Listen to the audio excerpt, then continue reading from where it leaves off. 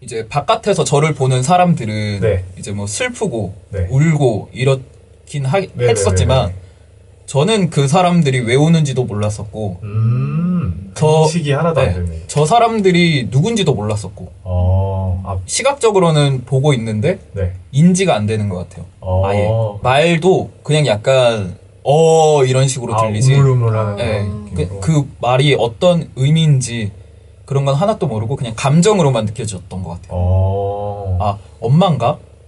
어, 엄마가 울고 울고 있는 건가? 아, 그 정도 느낌만. 그렇죠.